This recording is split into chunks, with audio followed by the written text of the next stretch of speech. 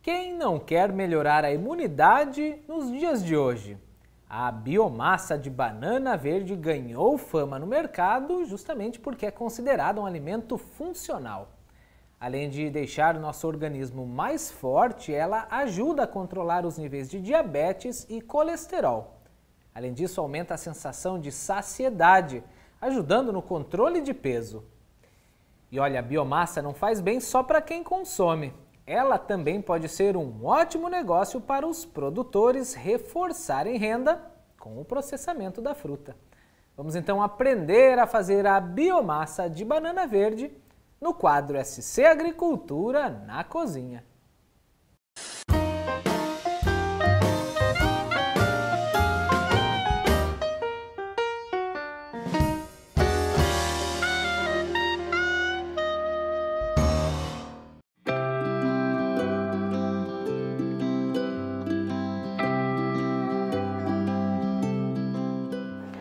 Olá pessoal, eu sou Simone Aguiar, sou extensionista social da IPAGRE no município de Lauro Miller.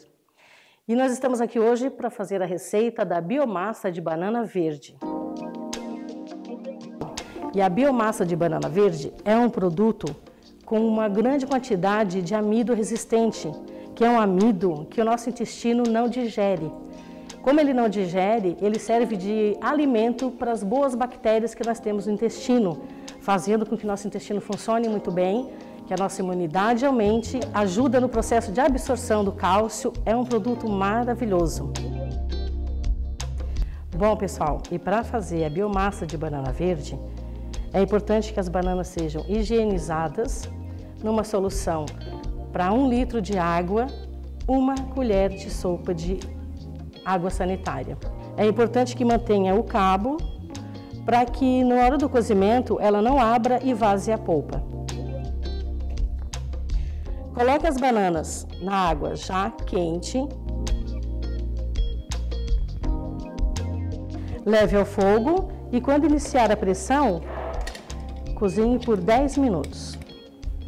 Depois de cozida a banana, nós vamos retirar a polpa. Pessoal, muito cuidado para não se queimar nesse momento. E agora a gente leva a banana para bater no liquidificador. Muito importante aqui que a gente vai bater essa banana e vai usar um pouquinho de água quente para bater, para ajudar a bater. Mas a gente não pode usar a água do cozimento.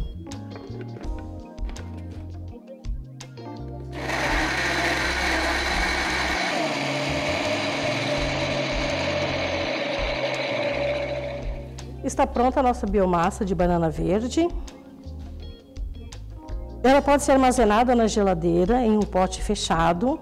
Ela terá uma durabilidade, uma validade de uma semana.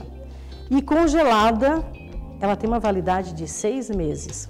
Para congelar, vocês podem colocar em forminhos de gelo ou em uma forma grande, coloca no freezer. A hora que tiver congelado, corte em pedacinhos e guarde em saquinhos no, no freezer. Então essa é a nossa biomassa de banana verde. Essa biomassa foi feita a partir da polpa da banana. Mas lembro vocês que pode ser feita a biomassa com a casca da banana, com a polpa e mista, com a casca e com a polpa.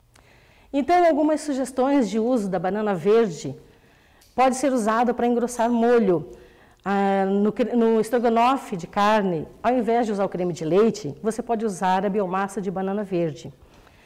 Todo molho que for engrossado com farinha de trigo, com amido de milho, pode ser usado a biomassa de banana verde.